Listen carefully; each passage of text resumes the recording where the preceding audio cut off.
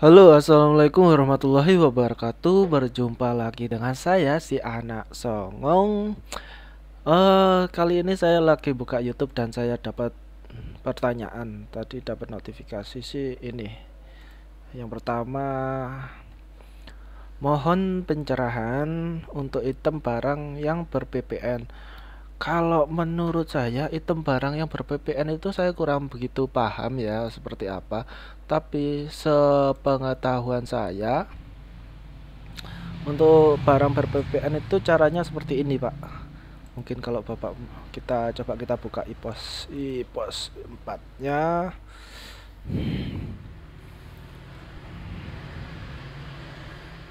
Nah, kita cari, kita sini, kita masuk dulu admin admin. Oke kita masuk. Untuk pengaturan barang ber-PPN nya kita harus masuk ke pengaturan. Lalu kita klik di sini pengaturan menu. Lalu kedua kita masuk ke tab kedua atau umum dua. Lalu di sini ada pengaturan pajak. Ah pajak di sini. Pajak penjualan atau pajak pembelian. Tinggal uh, tinggal disesuaikan aja. Di sini saya akan mencontohkan untuk pajak penjualan. Pajak penjualan itu biasanya akan masuk ke nota gitu ya, nota yang diterima oleh pembeli. Oke, kita masukkan oh ya. Sebelum kita masukkan seperti ini. Sudah cuma gitu kok saja. Tapi kita contohkan dulu. Saya kan tadi belum membuat perbandingan untuk notanya seperti apa. Oke. Di sini kita hilangkan dulu centangnya mari kita cek untuk penjualannya. Untuk penjualan kita cek notanya seperti apa. Gini coba kita buat contoh penjualannya dulu. Penjualannya misalnya minyak goreng. Ke eh goreng. Minyak goreng di sini. Kita pilih. Oke di sini pajak bisa tertera di pojok apa ya kiri. Di sini untuk pajaknya nol masih nol. Dan misalnya kita bayar kita bayar nanti cetak notanya oh belum saya bayar. Ini jadi kita buat-buat contoh saja. 200.000 oke seperti ini. Untuk nyata penjualannya kita coba kita review Ah. Oke. Nota penjualan. Di sini untuk pajaknya atau PPN belum termasuk ya, belum termasuk. Oke. Karena itu makanya kita coba dulu. Kita masukkan. Ini kita close dulu. Ini buat menu saja. Lalu kita coba kita atur untuk pajak penjualannya. Kita masuk pengaturan pengaturan umum lalu kita pilih umum 2 di sini kita di pajak penjualan umum kita centang di sini ada 10% untuk pajaknya. Nanti tinggal disesuaikan aja ya. Oh nanti aja dulu itu ada orang tanya. Oke kita save. Oke kita lakukan penjualan.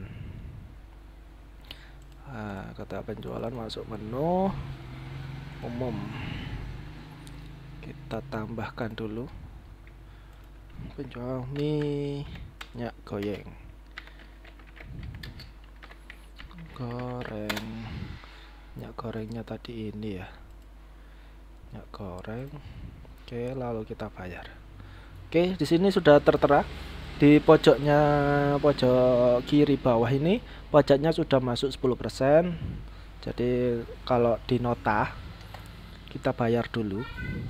200.000 kita samakan dengan tadi untuk contoh kita review nah ini nota yang sudah diatur untuk PPN nya dan untuk nota yang kedua oh nggak bisa digeser ya?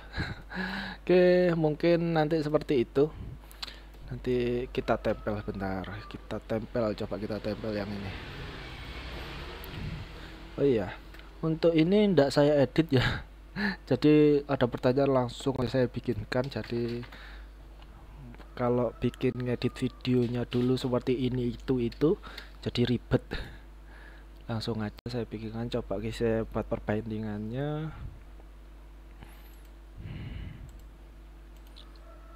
Ah new. Mana nih? New oke. Okay. gini kita potong. Nah gini kita kasih tulisan sebelum.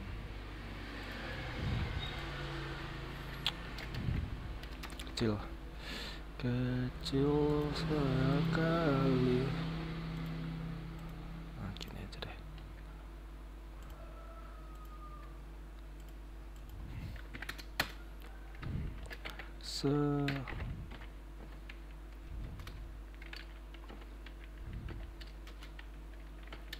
belum PPN PPN oke seperti ini aja. Oke. Oke ini kita kecilkan seperti ini. Nah.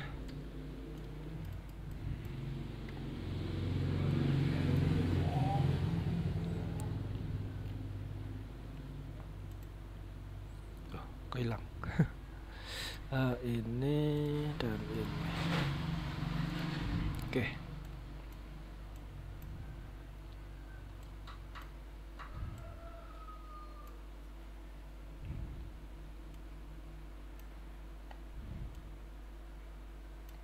Oke, di sini sudah untuk perbandingan. Di sini masih yang sebelum tadi itu pajak PPN-nya atau pajak itu masih 0% dan sini sudah dimasukkan pajaknya dan sudah tertera juga jumlahnya.